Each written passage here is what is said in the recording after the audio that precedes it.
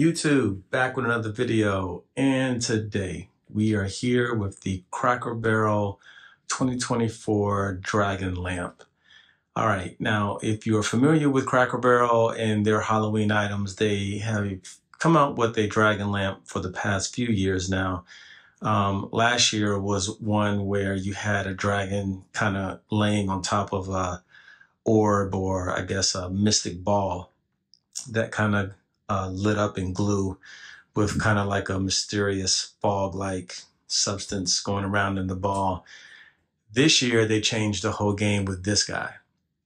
Now, I'm going to say out of anything that Cracker Barrel has in this Halloween season, this is the one. And when they had this in this on the display um, in store, this was the only one that everybody stopped and actually took a look at because it was um, it was already uh, on display. It wasn't actually working, but um, I went to another Cracker Barrel and they did have one on display that was working. But whether it was the one that wasn't working or the one that was working, everybody was surrounding and looking at this thing um, as compared to the other Halloween items they had on the floor. So uh, I had no plans on buying really anything from Cracker Barrel. I just stopped in to see what was going on and what they might have had. I was semi interested in the pumpkin lamp, but I wanted to see it in person and it just felt very cheap for even a hundred bucks. Um, a lot of plastic parts to it uh, and flimsy. Uh, just did not seem like it would hold up well at all. So I passed on that. And when I saw this guy, it was hard to not think about getting this guy. So the one, the first Cracker Barrel I went to, they only had one in stock. It was the floor model. They had none in the back. The um, associate told me that each store is only getting one to two of these, maybe three max um, at each store. So they won't have a lot in, in stock.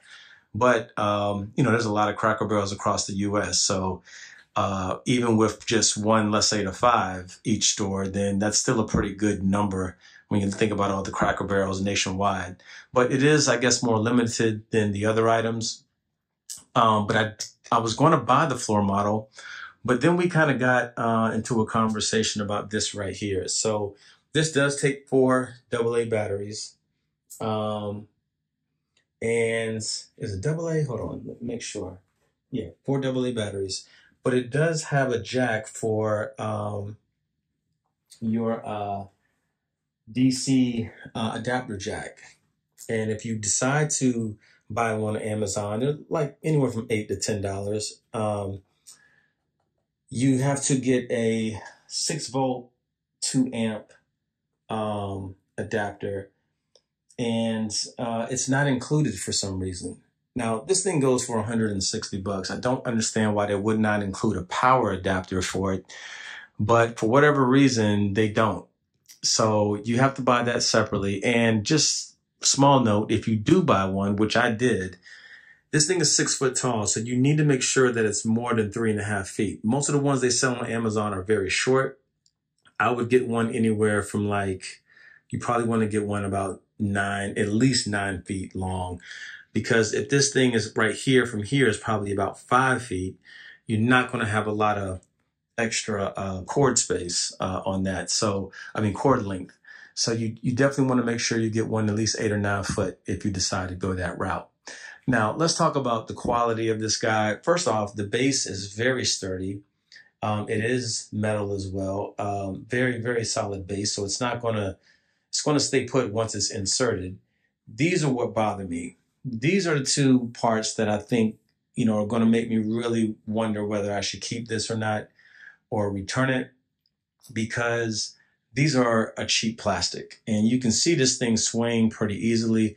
If any of these break or snap, it's a wrap. I mean, this thing is pretty much not saying that it's, it's useless, but this is the, the main, I mean, it's going to be hard to find pieces that are going to be able to be inserted into this, this, um, this base like that. So they really should just have made this some type of metal would have been a whole lot better than just uh, plastic.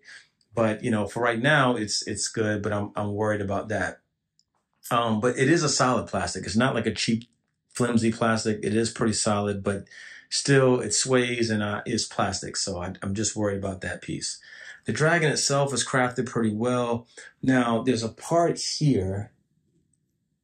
Uh, actually, I don't see it on this one. One of the Cracker Barrels I went to the other day when I saw this, the tail, oh, it's right here. I think it's right. I don't know if the camera's going to pick this up. It's somewhere in here. I think it's right here because the, the scales look a little different right here. But somehow this piece fell off. And when I looked at it on the ground, all I could see was the shiny stuff around it. It looked like it was glue or maybe something. Yeah, it had to be some type of glue to hold it in place. So no problems on this one, but it just worries me that if it fell off on the display, then, you know, what's the chances of it doing on this one as well? But, um, but for the most part, solid, uh, solid build. Um, I do see some paint chip cracks. Uh, I mean, paint peelings right here on the actual uh, fire. I see some right, like right here on the wing piece, some paint that just, that just starting to peel off a little bit. Um, probably could have did a little bit better with the paint job, but these are just touch up issues. I mean, uh, I can go in and actually fix that. If you look at the back of it, I do see um, paint chips all in the back of this spine of the wing. I see it right here on the arm. Um, and the bad part is, is when you turn off the light and this thing starts to glow, then of course you can see it even more because those pieces that are not painted, as you see right here, are all uh, going to be seen through, you know, with the with the fire. So when it's glowing, it's um, and it is motion sensor, by the way. You can see the light coming through all of the pieces that are not. Uh, I mean, all the all the places where the paint's chipping. So definitely could have did, uh, been a better paint job, but these are just touch up touch up issues the quality of this thing, as far as the details of the dragon, are awesome. The effects of the light with the fire is awesome. Um, I do see, it looks like, let me turn the light back on. It looks like there's glue. Let me just make sure, or if it could just be the lighting. I don't know if there's glue in here or not. But I'm worried um, eventually, like, you know, if this were to go out, how would I get in there and try to replace it? I'm not not really sure about that either. But anyway, um, and then I see some more like little black markings where paint kind of came off in the black area on the pink part of the wing.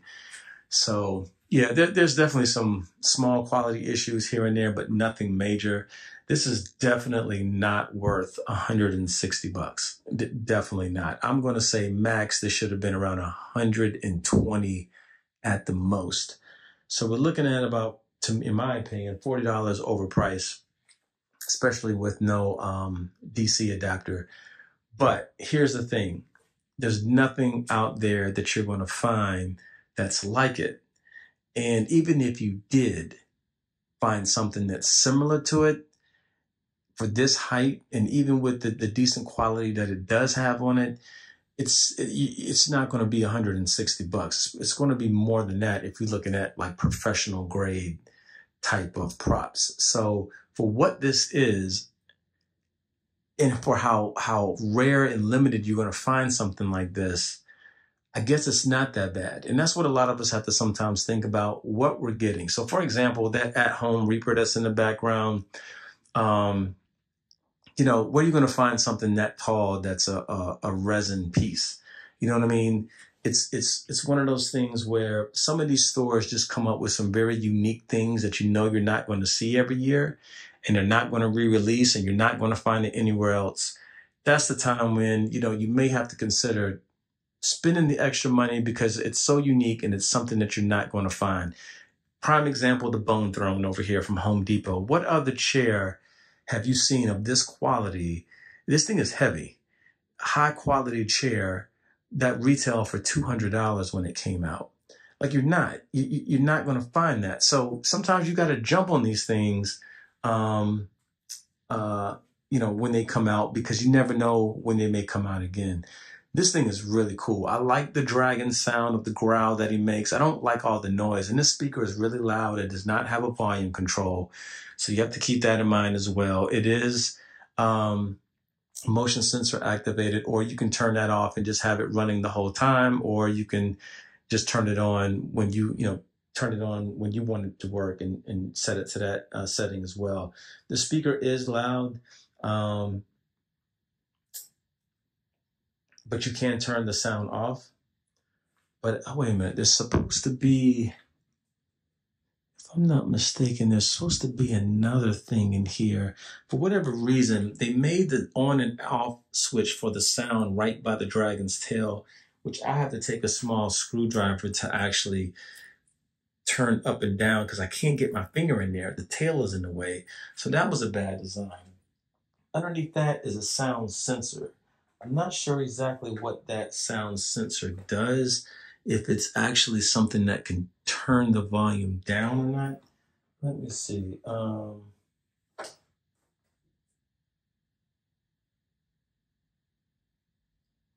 think that's what it is. It also has a foot pad jack in here as well, which I believe is this button um, right here.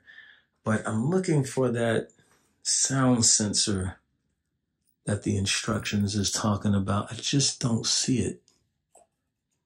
I don't see that in there. Um, so maybe I have to play with it and see. But if you can turn the volume down, that would be great. You can see the speaker is huge in the where is it at on the other side? I'm sorry. Like this is it's just really interesting design. See, this whole section right here is the speaker. It's a big, pretty big speaker and it is loud. Um, the battery compartment is, is really interesting when you pull this out. I do am glad they have a pull tab. The wing is actually in the way, so you got to actually push down underneath the wing to get this out. And once you get two screws off to get this out, there's an additional screw at the top you have to unscrew to put the four batteries in. Definitely a bad design when it comes to that. They should have just designed it, I don't know, somewhere in the pole just to pop in the four batteries with one screw. But that that I mean, you have three small screws, and you have to get you know one of these small screwdrivers in order to to get to them. So it's just like I don't know, better better design could have could have definitely helped. But overall, make no mistake, this guy is awesome. He looks great. He's really cool. Um, I don't think you're going to find anything else like it anytime soon, especially with the fire effect. And it's just a great Halloween prop. I'm going to turn the sound back on so you can hear that growl right quick.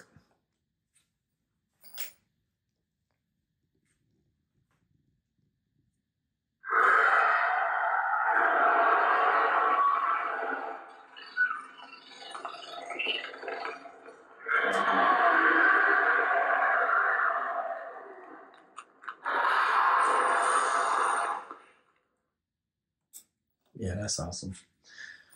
All right, guys. So enough of the Dragon Lamp. Again, Cracker Barrel. He was online. He is sold out on the Cracker Barrel website. So he is no longer on that. Um, and again, each store, from what I'm hearing, is only going to have one to three in stock. All right, guys. So that's it for the video. Um, my camera just cut off, so just wanted to end it real quick. But my as I my phone died. Um, the adapter came in from Amazon. So I'll put that in the link as well, which one I ordered so you can get the right one. And it's working. I just took the batteries out. Uh, the adapter's working, so that helps out a lot, uh, not having to worry about batteries. Um, and again, I think this cord is about eight feet, maybe nine. Uh, so, so yeah, I can move them around a little bit. Probably should need about a 15 footer to be honest with you. But other than that, guys, I'll catch you in the next video. Hope you're doing well. Happy 4th of July. Peace. She was quiet.